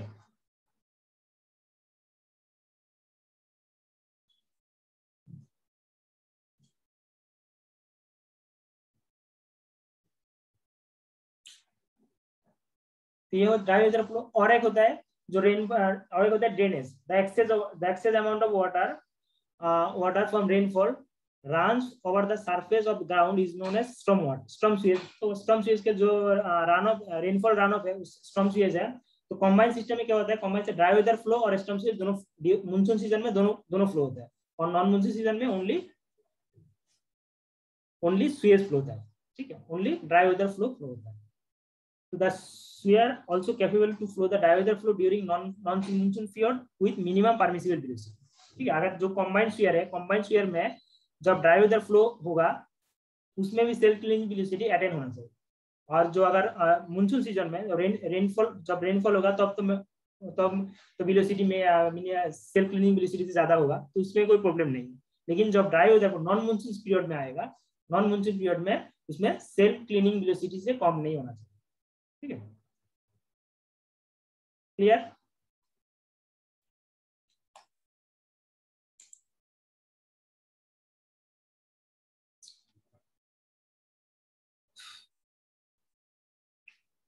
और एक होता है। सोर्सेज ऑफ़ सुएज सुएज कहाँ कहाँ से जाना होता है? ठीक है। तो बहुत सारे सुएज है, जैसे कि hello use water of domestic supply अपने इंडिविजुअल हाउस में।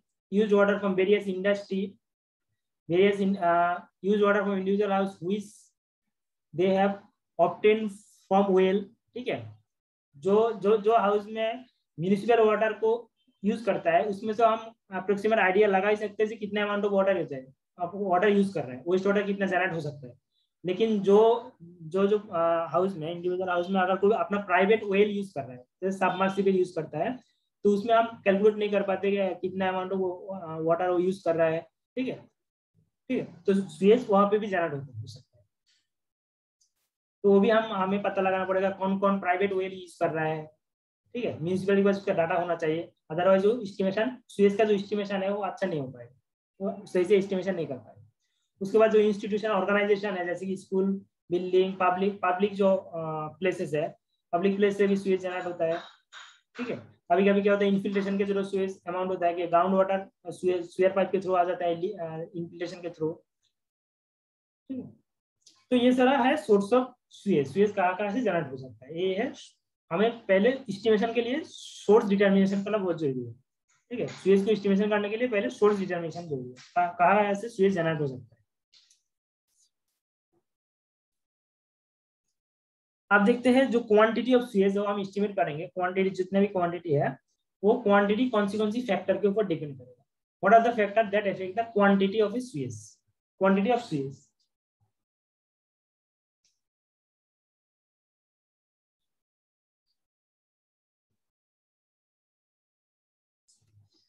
पहले बात है rate of water supply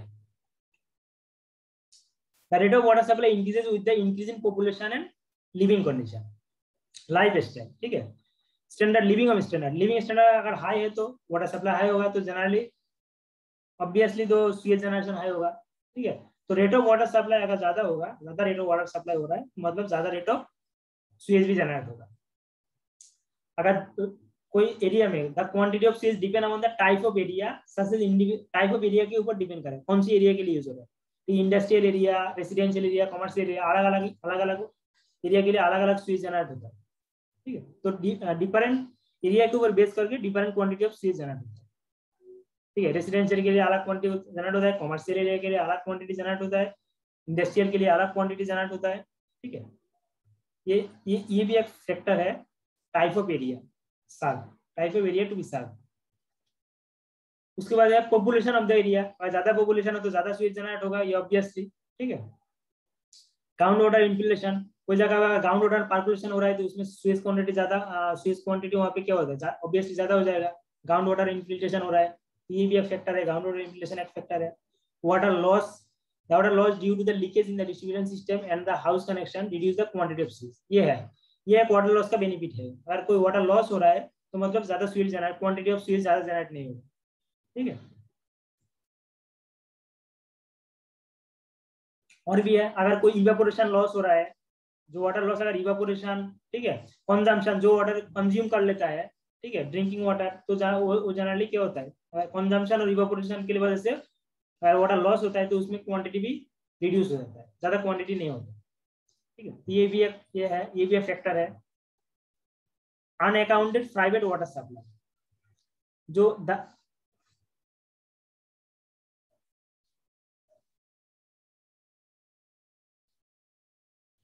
ठीक है जो भी आनो, जो भी अन अनअकाउंटेड जो प्राइवेट जो जो अपना प्राइवेट वाटर सप्लाई यूज़ करता है उस वो आ, उस उसी के थ्रू वहाँ पे सुए जा सकता है। क्योंकि अगर वो वाटर यूज़ तो कर सकता है प्राइवेट लेकिन वो जो जब भी वो वेस्ट वाटर होगा वो तो म्यूनिसिपल सुयर में आएगा ठीक है?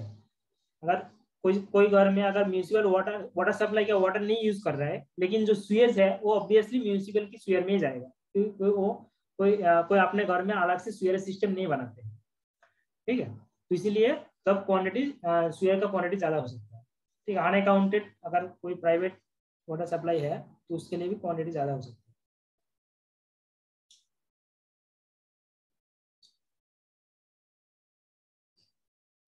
और कभी कभी होता है, जो वाटर है स्वेयर सिस्टम में नहीं आता। Certain amount of water may be use by public और industry which may not be produce in sewage ठीक है? ये वैसे अगर स्वेज के अंदर नहीं आता है तो ऑब्वियसली क्वांटिटी ऑफ़ स्वेज कम होगा, ठीक है? तो ये है टोटल ये जो फैक्टर है, छह सात फैक्टर है, ये है फैक्टर जो स्वेज क्वांटिटी को अफेक्ट करेगा।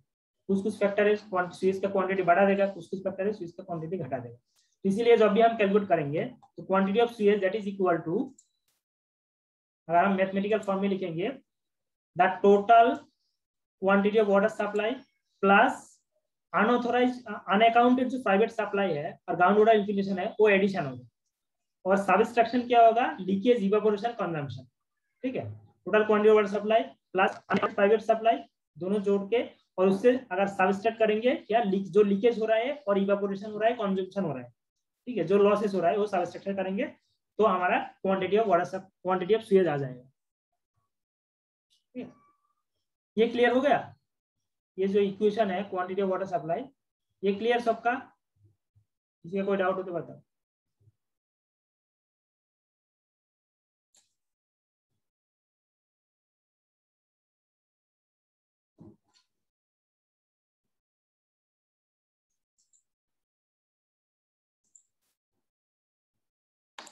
ठीक है।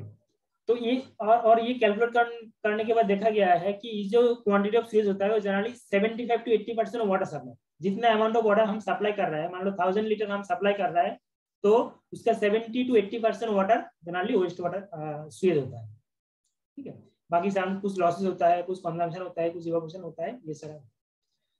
ठीक है?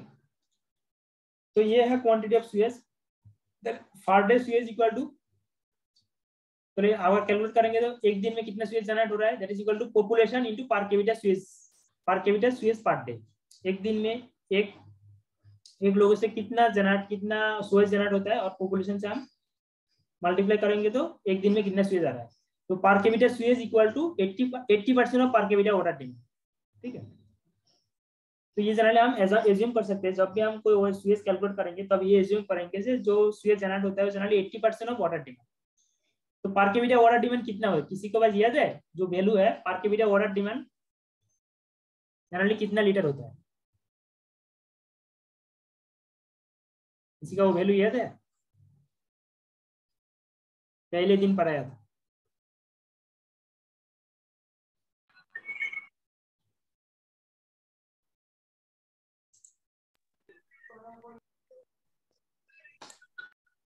वाटर डिमांड एक दिन में एक, एक लोग का कितना वाटर कितना वाटर ज़रूरत है वो पता नहीं है?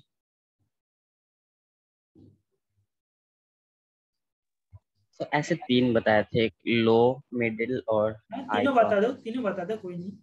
सर एक था 135 एक 200 एक 225 यूनिट नहीं पता सर यूनिट लीटर पर केपिटा पर डे ठीक है?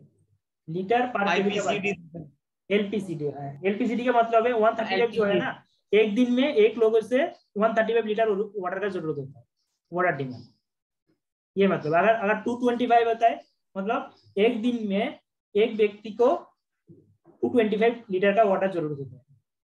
ठीक है? ये है सर रेंज है ना सर उसका सर? एक एक सौ पैंतीस से दो सौ पच्चीस दो सौ छब्बीस लीटर तक। नहीं नहीं वो तो अलग अलग है। Low income group medium income group वो तो अलग अलग है हाई स्टैंडर्ड लिविंग यूएस में तीन थ्री हंड्रेड के आसपास होता है। ठीक है? वो वो एक नॉर्मल है। ठीक है? Average total water total water demand पूछ रहे हो क्या सर आप? हाँ? तो मान मान लो मान लो एक दिन में पर कैपिटा वाटर डिमांड 135 लीटर तो 135 लीटर है तो एक दिन में एक व्यक्ति कितना उसके जनरेट करेगा उसका 80 परसेंट तो 135 का 80 परसेंट कितना हो रहा है?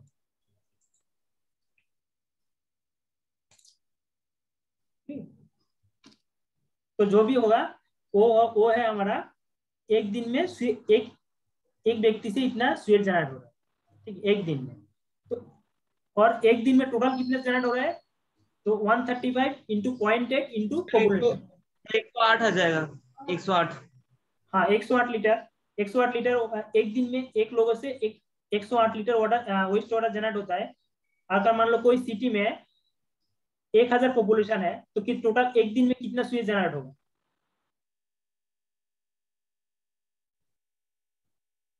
बताओ। कैलकुलेट करके वन सर? लाख एक one lakh eight thousand. One eighty one zero eight into one thousand है ना? इतना लीटर जनरेट होगा? और मीटर क्यूब कितना मीटर क्यूब आ रहा है? मीटर क्यूब में कन्वर्ट करो उसको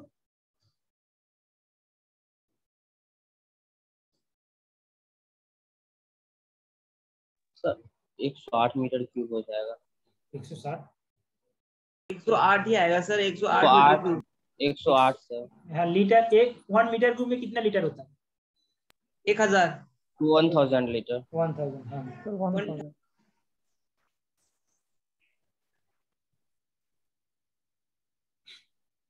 तो उसे कैलकुलेट करके उस, उस, उसी हिसाब से हम उस चीज़ को कैलकुलेट कर पाएँगे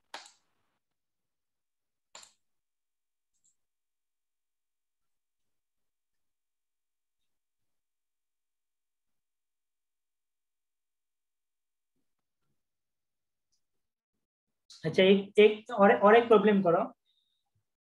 आ, एक पर कैपिटा वाटर डिमांड किसी एक सिटी में मान लो दिल्ली में दिल्ली में एज्यूम दिल्ली में जो पर कैपिटा वाटर डिमांड है 200 लीटर ठीक है? और दिल्ली का जो पॉपुलेशन है पॉपुलेशन है ten lakh ten lakh population है per capita water demand 200 litre per capita per तो एक दिन में कितना स्वेज जनरेट होगा? कैलकुलेट करके बताओ। Sir population population 10 lakh ten lakh population 10 lakh है और per capita water demand 200 litre per capita per day और एक दिन में कितना स्वेज जनरेट होगा? कैलकुलेट करके बताओ। कैलकुलेट करके यहाँ पे चैट में लिख देना। Sir one lakh sixty thousand metre cube one lakh sixty thousand metre cube इतना मीटर क्यूब Yes. क्या बोल रहे हो?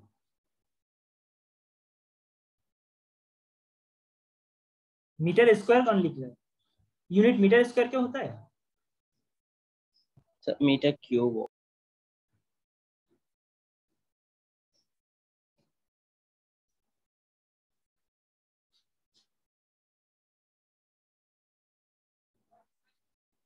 जो भी है उसका आंसर होगा ten lakh into point eight into two hundred इतना लीटर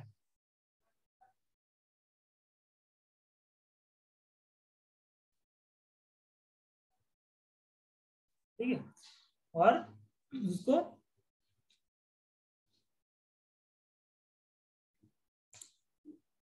ठीक है तो ऐसे करके हम ऐसे अगर हाँ जो भी कैलकुलेटर में कैलकुलेटर में जो भी आएगा वही आंसर होगा ठीक है? तो ये है हमारा ऐसे करके हम स्वेज को कैलकुलेट करते हैं। जब भी कोई स्वेज स्वेयर डिज़ाइन करेंगे तो अब ऐसे करके हम कैलकुलेट करना पड़ेगा। ठीक है? एग्ज़ाम में छोटा छोटा क्वेश्चन आएगा ठीक है? तो तब ये बताना पड़ेगा।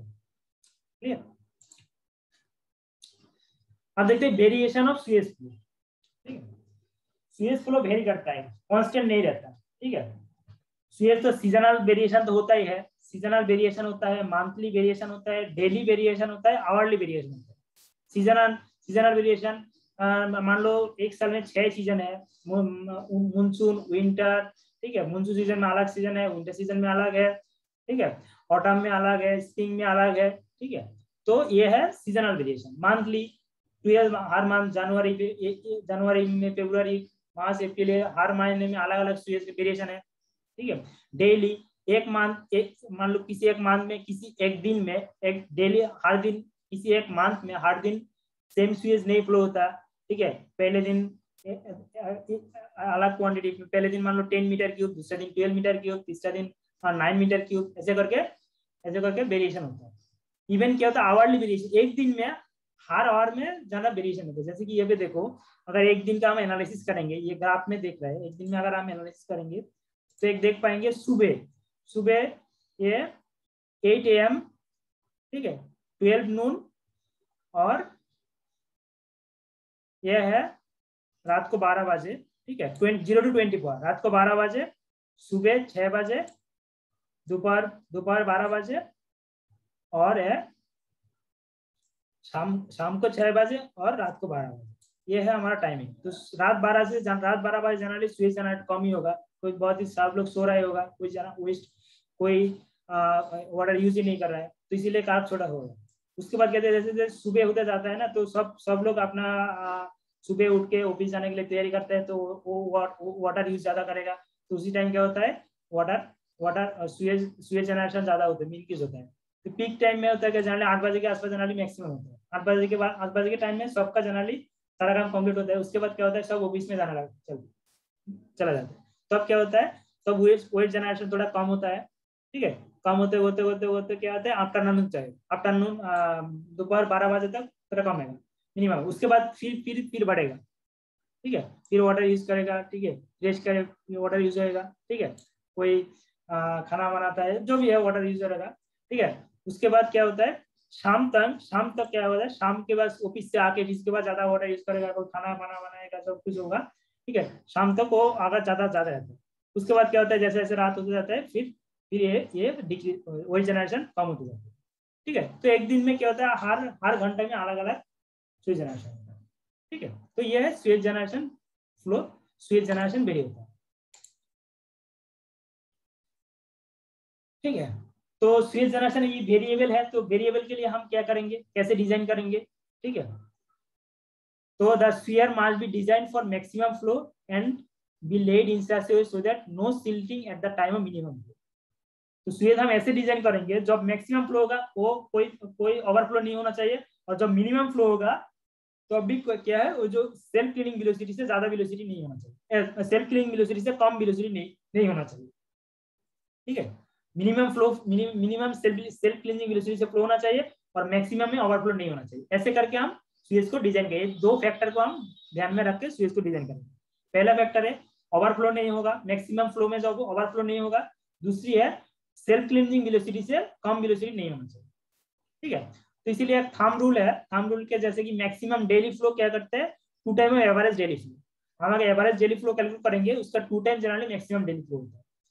और और एक है मैक्सिमम आवरली फ्लो अगर हम कंसिडर करेंगे, वो generally 1.5 time of maximum daily flow होता है। और उसको जनरली हम पीक फ्लो भी कभी कभी कहते हैं। मैक्सिमम आवरली फ्लो को पीक फ्लो भी कभी कभी कहते हैं। ठीक तो वो generally 1.5 time of maximum daily flow तो that is equal to three time average daily flow ये कैलकुलेशन है। 1.5 point into two average flow तो ये कैलकुलेशन हम ध्यान में रखेंगे। जब भी हम कोई स्वेयर डिज़ाइन करेंगे तो मैक्सिमम डेली फ्लो कैलकुलेट करने के लिए टू टाइम पहले एवरेज डेली फ्लो कैलकुलेट करेंगे, उसका दो से मल्टीप्लाई करेंगे। मैक्सिमम डेली फ्लो कैलकुलेट करेंगे। और अगर मैक्सिमम आवरली फ्लो कैलकुलेट करना है तो क्या करेंगे हम? पहले मैक्सिमम डेली फ्लो कैलकुलेट करेंगे और वो वन पॉइंट फाइव से मल्टीप्लाई करेंगे। ठीक है? तो ये हो गया हमारा कैलकुलेशन और उसके बाद कुछ मल्टीप्लाइंग फैक्टर भी स्वेज को जो हम डिज़ाइन करेंगे अलग अलग स्वेज का अलग अलग मल्टीप्लाइंग फैक्टर यूज़ करेंगे। मेन स्वीयर है मेन स्वीयर को ज़्यादा मेन स्वीयर में ज़्यादा फ्लक्चुएशन नहीं होता। ठीक है? इसीलिए मल्टीप्लाइंग फैक्टर 1.5 थोड़ा कम रखेंगे। आउटफॉल स्वीयर में भी 1.5 टू टू के आसपास ही रखेंगे। और ब्रांच स्वीयर जो है, उसमें थोड़ा वेरिएशन थोड़ा ज़्यादा होता है। और लेटरल जो स्वीयर है, जो जो हर इंडिविजुअल हाउस में आता है ना हाउस के साथ जो भी लेटरल कनेक्शन होता है, वो उसमें ज़्यादा वेरिएशन ज़्यादा होता है। इसीलिए उसमें मल्टीप्लाइंग फैक्टर फोर यूज़ करें। ठीक है? और पहले क्या स्वीज कैसे बोलोगा लेटरल से ब्रांच ब्रांच से मेन ठीक है? ब्रांच से मेन ठीक है? तो ऐसे करके फ्लो होगा। तो इसीलिए जो हाउस से जो कनेक्ट नज़दीक है, जैसे कि लेटरल है, उसमें वेरिएशन ज़्यादा होगा। ब्रांच में थोड़ा कम होगा और मेन में थोड़ा कम होगा। इसलिए लेटरल में ज़्यादा मल्टीप्लाइंग फैक्टर और मेन्स में ज़्यादा मल्टीप्लाइंग फैक्टर यूज़ करेंगे, जब हम कैलकुलेट करेंगे स्वीएस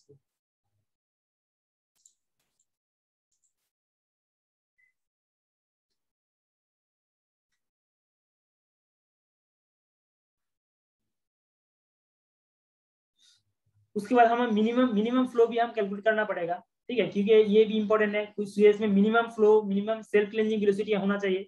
और मिनिमम फार्मेसिबल वेलोसिटी नहीं होगा तो वहाँ पे सिल्टिंग सिल्टिंग का प्रॉब्लम आ जाएगा, ठीक है? तो उसमें लिए मिनिमम अगर डेली फ्लो कैलकुलेट करेंगे तो मिनिमम डेली फ्लो जनरली हम कैलकुलेट करते हैं क्या? थाम रूल है two third of average daily flow और minimum hourly flow generally half of minimum daily flow equal to one one third of average daily flow ये thumb rule है, ये calculate करके हम मिनिमम डेली फ्लो और minimum hourly flow हम calculate कर सकते हैं। तो स्वीयर जब डिज़ाइन करेंगे तो चेक करेंगे तो दोनों चेक करेंगे। एक है the sewer must be check for minimum velocity at then minimum hourly flow जो मिनिमम आवरली फ्लो है ना, उसमें मिनिमम वेलोसिटी चेक करेंगे और मैक्सिमम फ्लो तो चेक करेंगे ओवरफ्लो अगर ना हो तो ठीक है? तो ये दोनों फैक्टर कंसिडर करके उसके बाद हम स्वीयर को डिज़ाइन करेंगे। ये इंपॉर्टेंट है, ये जो फैक्टर है, ये एग्ज़ाम में आता है। व्हाट इज़ द कैसे हम मिनिमम आवरली फ्लो कैलकुलेट करेंगे मिनिमम डेली फ्लो कैलकुलेट करेंगे maximum daily flow maximum hourly flow वो मल्टीप्लाइंग फैक्टर एग्ज़ाम में आता है कॉम्पिटिव एग्ज़ाम में।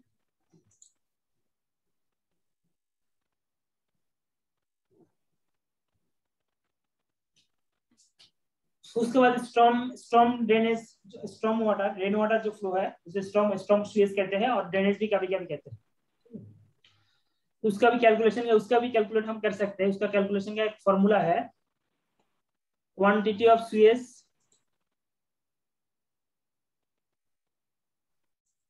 quantity of sewage equal to Q equal to A R A I R ये formula है। इसी इसी के थ्रू हम रेन वाटर जो रेन वाटर स्वीज जो है स्ट्रॉम ड्रेनेज वो हम कैलकुलेट कर सकेंगे जहाँ पे A equal to area of the catchment area I equal to intensity of rainfall R equal to run off coefficient ठीक है, ये सारा ए वैल्यू तो हमें पता है कितने एरिया है। आई वैल्यू हमें intensity of rainfall rainfall data से हम मेजर कर पाएँगे जो हाइड्रोलॉजिकल डिपार्टमेंट है। हाइड्रोलॉजी इंडियन जो मेट्रोलॉजिकल डिपार्टमेंट है आईएमडी इंडियन मेट्रोलॉजिकल डिपार्टमेंट वहाँ से रेनफॉल डाटा हमें मिल जाएगा। और रानक कोफिशियंट वहाँ पे हर एक एरिया का अलग अलग कोफिशियंट टेबल चार्ट में अवेलेबल होता है तो रानक कोफिशियंट वहाँ से मिल जाएगा। ये तीनों डाटा अगर अवेलेबल है तो हम क्या करेंगे? स्ट्रॉम स्वीज को जो रेन वाटर स्वीज है वो हम कैलकुलेट कर पाएँगे। ठीक है?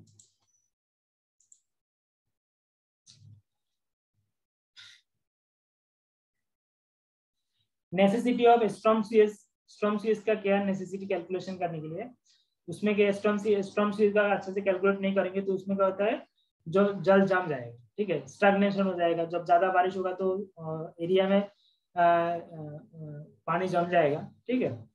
फ्लडिंग हो जाएगा तो avoid the unfavourable health condition unhygienic condition के अवॉइड करने के लिए जब भी ये होता है वहाँ पे ज़्यादा बारिश होने से जल जम जाता है तो क्या होता है, आसपास का जो वेस्ट है, वो भी वो भी वाटर के अंदर आ जाता है और अनहाइजेनिक कंडीशन किए जाते हैं।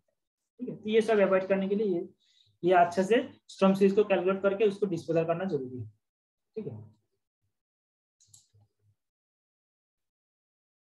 और कौन सी कौन सी फैक्टर स्ट्रम सीज को इफ़ेक्ट करता है क्वांटिटी ऑफ़ स्ट्रम सीज मैंने ऑलरेडी बता दिया कैसमेंट एरिया जो ए है, जहाँ जितना अमाउंट ऑफ़ एरिया से वेस्ट वाटर सीएज में आ रहा है, उसे कहते हैं कैसमेंट एरिया तो कैसमेंट एरिया के ऊपर डिपेंड करेगा इंटेंसिटी इंटेंसिटी कितना है? इंटेंसिटी है, ज़्यादा इंटेंसिटी में हो रहा है तो ज़्यादा रेनफॉल ज़्यादा स्वेज होगा, और कम इंटेंसिटी में हो रहा है तो कम स्वेज जनरेट कम होगा. ठीक है? ठीक, और भी बहुत सारी टोपोग्राफी एक फैक्टर है. ठीक है, ये सारा फैक्टर क्या करेगा? स्टॉम स्वेज को इफ़ेक्ट करेगा. Quantity of storm sewage generation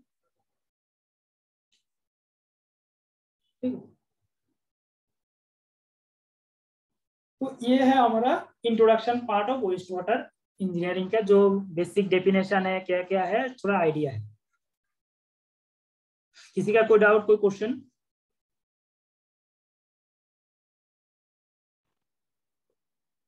जो मैक्सिमम फ्लो वेलोसिटी होता है सर वो मतलब सीवर मटेरियल के हिसाब से होगा ना सर मैक्सिमम फ्लो वेलोसिटी हाँ सर मैक्सिमम फ्लो वेलोसिटी हाँ मैक्सिमम फ्लो वेलोसिटी तो हम एवरेज फ्लो वेलोसिटी का टू टाइम्स लेते हैं जनरली